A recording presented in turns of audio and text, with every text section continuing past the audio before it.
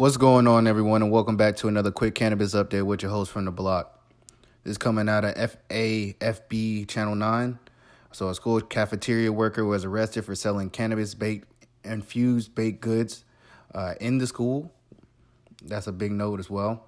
Uh, Tymetrika Cohen, so I'm gonna call her Miss Cohen, a substitute, a substitute cafeteria uh, worker, 45, was arrested after they received a tip from Crime Stoppers.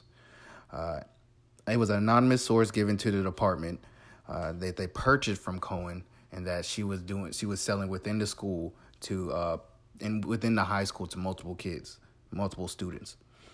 Uh, she's been charged with a county of possession distribution of CDS one and a count of distribution of a CDS in a drug free zone. She was hired by ESS staffing agency, so it's a staffing agency that routinely works with the school system or uh, establishment, and somehow this came through, and she was able to get to the point at Jewel M. Uh, Sumner High School that she was able to sell to these kids.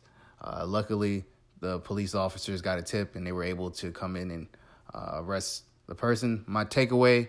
Uh, this could either be one where a kid was making a prank because they do do this thing where they prank and they say this person's doing this, or this person uh, was willingly selling to minors, and this is a this should be treated with the uh, utmost uh, maximum of the law because you can't be doing this, especially in the high schools. Now you now you're introducing something that some kids may not even be wanting to try, but now the access is there, and now they have tried it. So that's the negative parts about that.